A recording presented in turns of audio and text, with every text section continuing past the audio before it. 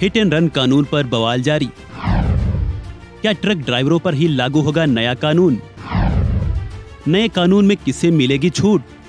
केंद्र सरकार के हिट एंड रन कानून को लेकर शुरू हुआ बवाल, लगातार जारी है। भले ही कहीं कहीं या थोड़ा शांत नज़र आ रहा हो, लेकिन कानूनों में हुए बदलाव को लेकर अभी भी कई राज्यों में हड़ताल चल रही है। हिट एंड रन मामले को लेकर लाए गए नए कानूनी प्रावधानों के विरोध में असम में शुक्रवार से हड़ताल जारी है।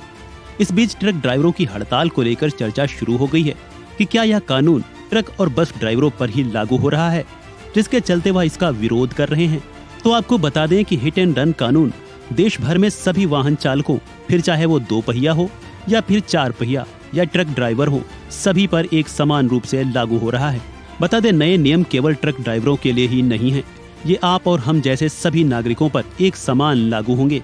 चाहे वह कॉमर्शियल वाहन हो या पर्सनल वाहन हो, उनसे भी अगर कोई दुर्घटना होती है तो ये नियम आपके ऊपर भी लागू होगा। यानी जिस किसी के भी पास ड्राइविंग लाइसेंस है और वो गैर जिम्मेदाराना तरीके से ड्राइविंग करता है तो उन सभी पर इस कानून के तहत कार्रवाई की जाएगी। नए नियम दो पहिया, तीन पहिया से लेकर कार, ट्रक, टैंकर, बस समेत सभी प्रकार के वाहनों पर लागू होंगे।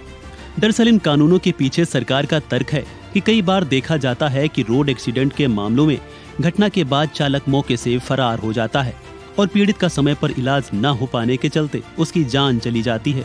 लोग ओवर स्पीड और लापरवाही आदि से ड्राइविंग करते पाए जाते हैं और जिसके चलते कई बार हादसे होते हैं, जो मौत का कारण बनते हैं। कई बार तो जाँच के बाद भी न एक्सीडेंट करने वालों का पता चलता है और न ही वाहन का। ऐसे में मृत व्यक्ति के घर वालों को मुआवजा दिलाना भी मुश्किल हो जाता है। अब नए कानूनों में प्रावधानों के बाद चालक को ऐसा करना भारी पड़ेगा।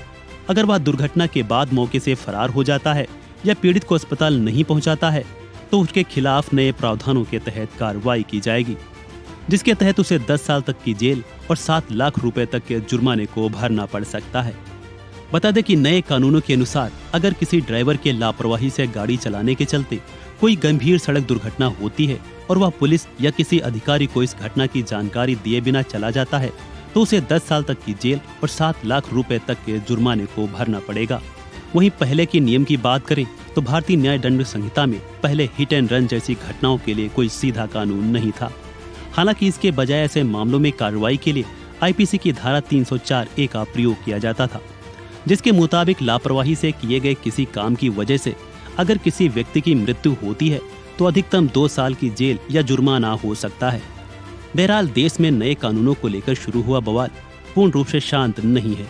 हालाँकि सरकार से बातचीत और अपील के बाद ड्राइवरों ने कई जगह हड़ताल ज़रूर खत्म कर दी है।